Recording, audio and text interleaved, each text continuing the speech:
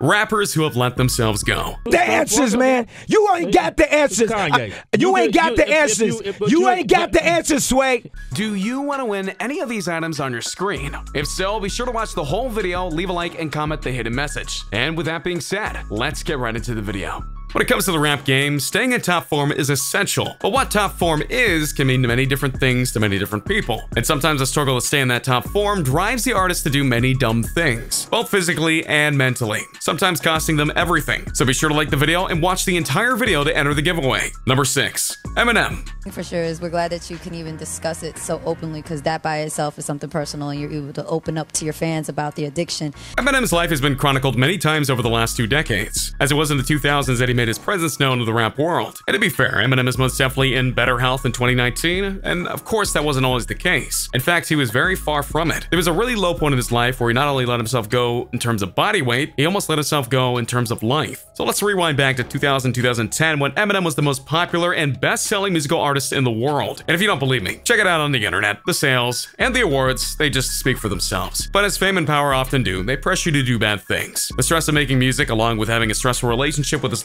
longtime girlfriend, led to Eminem starting to eat excessively, meaning not in a very healthy way. Which is interesting because of one of Eminem's defining features was that he was very skinny, but not for long. Eminem was in such a state that he would go to McDonald's where he frequently visited so much that people knew him by his name, and they would get his order ready before he had even ordered it. That must mean that he must have made a ton of visits. It even got so bad that people thought that they recognized him, but then turned around and said, Eminem ain't fat. This hit Eminem very hard, and the transformations he went through because of this were numerous and long lasting. Then the substance misuse, also the result of stress, almost took his life. Period in your life.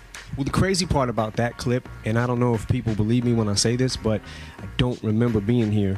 It was here that he realized he needed to do things better. He went and got healthier, refused drugs, and worked hard to get his life back in order. While it's not 100% better, he's had some issues over the years, but he's bounced back strong from them. He himself physically is. He's been sober for 10 years, which is quite an accomplishment. And let Eminem be a lesson that even if you do let yourself go, you still can come back, and come back strong. In fact, some of Eminem's best albums and songs came from after he pulled himself back from the brink. Though to be clear, he had some major struggles in his recovery, the event and not from the album. The biggest one being that he went from being hooked on food and substances to being hooked on exercise. He had a treadmill and an exercise bike in his house that he would go on for hours until he felt healthy, which of course is not recommended, but thankfully he got out of that addiction too. So as you can see, Eminem has dealt with a lot over the years. He's proven that you can take hits and truly get back up. You may not think of him as a role model because of his music, but his recovery and thoughts on life now are pretty inspirational. Number 5. Drake? My kid. They had to add like the deadbeat thing to make it more appealing, which is fine. and I, I understand that. And I, even that, I was like, okay. Bet you didn't see this one coming, did you? Drake is one of the most famous and legendary rappers in the world today. He's one of the most beloved rappers by fans, and his music is constantly breaking records on the charts. And he's also a very passionate Toronto Raptors fan, the team in the NBA who just won the title for the first time. So if you look at him and think, how has he let himself go? He looks fine. And it's true. Physically, he's in really good condition. His friends and family would attest to that. But mentally, well, Drake's got one big flaw. His temper. Yeah, when Drake mentally lets himself go and flies off the handle, yeah. It's honestly not so pretty, and there are plenty of examples of this happening to him over the years. For example, there was a period of time where he was dating a fellow rapper and star Rihanna. If you know her history, then you know her most infamous relationship was with Chris Brown. It wasn't kind of her in any way, shape, or form when you get right down to it. After a big separation that spilled all over the news, Drake dated her, and Chris Brown tried to play it off coolly by talking to Drake at a nightclub, saying that there were no hard feelings. Yeah, you can see where this is going, right? Drake didn't want to hear anything from Chris Brown. He said some not so nice things about Brown, Brown threw a jab, and Drake threw one back, and a brawl was on. It was one that caused quite a media stir, even though the details about what exactly happened never emerged. The two even did a mocking of the fight during a skit once on the ESPYs, but still, it happened. Before you try to say that one event doesn't prove intent, you need to slow down a bit. Another time at another nightclub, his crew was insulted, and Drake personally went after people who did the insulting, and after being taken out of the club, he threw thousands of dollars at the bouncer in order to let him back in, because he wanted the people who were talking smack. You might call this passion and loyalty to his friends, but it's clear that this was some deep-rooted anger that he was letting out. Oh, but it's not the end there. Last year during his time watching the Raptors, they had a match against the Washington Wizards, and when they did, he got into a shouting match with the player, Kendrick Perkins. This shouting match got so intense that he had to be separated from him by both teams.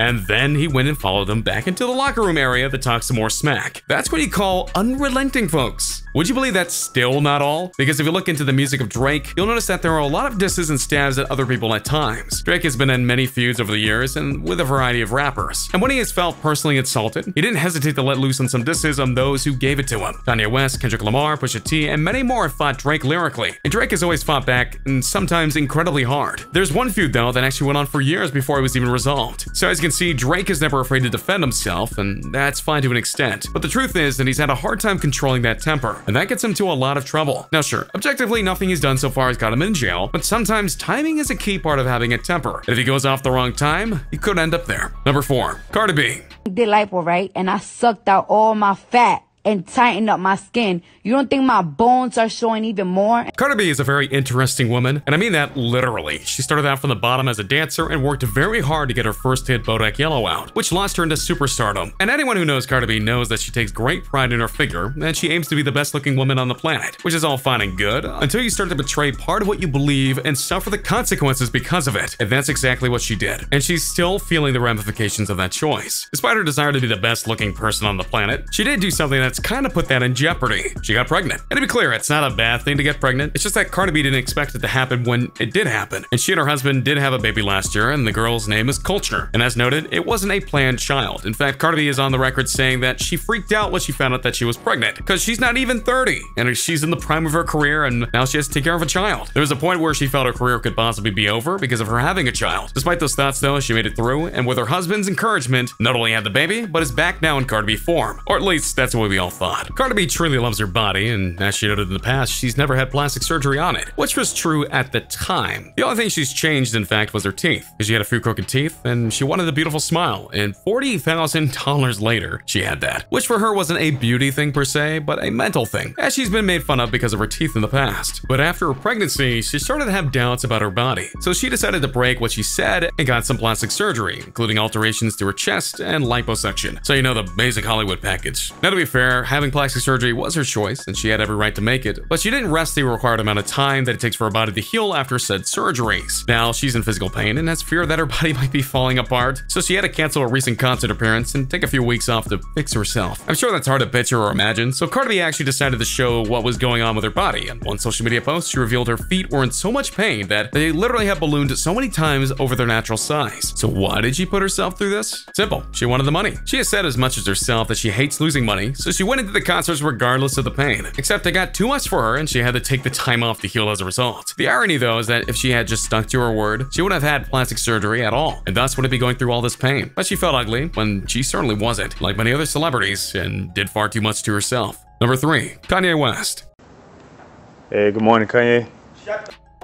If we're being totally honest here, Kanye is the king of letting himself go both mentally and somewhat physically, and most definitely financially. He used to be one of the most dominant rappers of his time, and then he fell very hard and started to bring a lot of haters against him. And then he made a great comeback with power and got back into the spotlight. But as of 2018 and 2019 has shown, Kanye West has fallen heavily into mental instability, and he honestly has himself to blame for part of this. This is a guy who went on a near 100 tweet rant about Drake, his life, and those who threaten his family, the songs that he's made, and doesn't apologize for and much more. This is a guy who scared the entire gaming community when he found out that legendary creator Hideo Kojima was in New York and tried to find out where he was, for reasons that no one really knows, and we're probably better for not knowing anyway. Still not enough for you? This is a guy who created one of the most explicit songs ever, and I love it, and still have one of the oddest music videos to boot with it. And not to mention he wears clothes that clearly doesn't fit him, and apparently is spending more money than he makes, to the extent that he asked Mark freaking Zuckerberg to help him out financially so that he can make what he loves. And then of course there's his bipolar disorder, which he openly admits that he has, but doesn't take the medicine that he needs to help him combat his condition because it messes with his flow. At least look into neurofeedback, that's something good. Even his wife Kim is fed up with much of his antics, and not to mention the world at large. So when you see Kanye trending on Twitter, you know that he's likely done something incredibly outlandish. And when you think that he's done acting up, he'll shock the world with his last deal. He's unrelenting in his presence, he's eye-rolling in his acts, and if he can't get himself together, there won't be anything left for him to let go.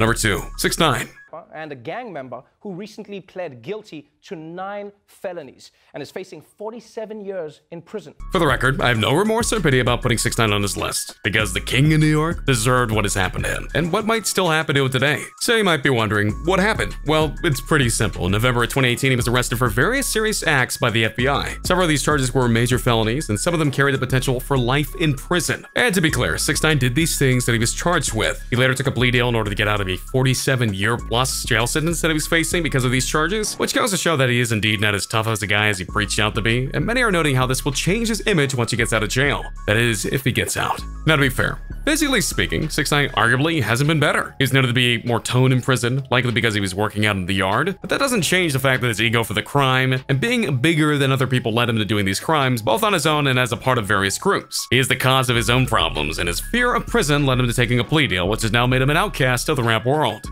And he deserves to be called that. Number one, ASAP Rocky. Go this way. My friend. Go this way. You know? Go this way. You know? Go this listen, way. listen, listen. We don't want to shot. We're not trying to go. One of the recent stories going on in the rap world is the arrest and incarceration of ASAP Rocky by the Swedish police. Rocky was a rapper doing a tour and a concert in the country when some fans decided to accost him and his entourage. A fight broke out and those fans were hurt as a result, which led to the arrest of ASAP Rocky and some of his crew. Though getting arrested is definitely one form of letting yourself go, the struggles that Rocky was facing was only just starting, because not only was he detained in Sweden, he was also put into solitary confinement, which tends to have an interesting effect on a person's mind if you get my drift, but even worse than that, the prison that Rocky was put into was not exactly nice to the prisoners. Granted, there's a certain level of animosity that is done to prisoners because of who they are, but fair treatment is required in prisons. But not here apparently, because all Rocky got to eat for two weeks was apparently an apple. Just an apple. All day. Do you see why this is bad? So by the time he got seen by a US appointed official, after much dragging of the feet on the Swedish part, it was clear that ASAP Rocky wasn't in picture perfect health. And it could get even worse so they detain him even longer, and keeping doing his regimen to him. This is a bit of a complex situation here because on one hand, there's no denying that he did play a part in getting himself arrested, but on the other hand, there's clearly misuse of power going on here and it's affecting his health physically and mentally, which deserves immediate sympathy. The rap community is actually trying to rally people to get him free because they see this as a massive miscarry of justice. Technically, they're not wrong. Whether this actually happens, though, is obviously up for debate, especially since this judgment won't come to the US, but from Sweden. And so there you have it, everyone. A look at many rappers who have let themselves go in a variety of ways. Which rappers are you the most surprised about in regards to their conditions? Should another rapper be on the list? Let me know in the comments down below. Be sure to subscribe, and I'll see you next time on King Trending. A simple reminder on how to enter our brand new giveaway. We will be giving away either an iPhone X Max, the new iPad mini, or a MacBook Pro. It's really your choice. So be sure to leave a like, comment the keyword, subscribe, and turn on notifications to enter the giveaway. It's really that simple. Go for it.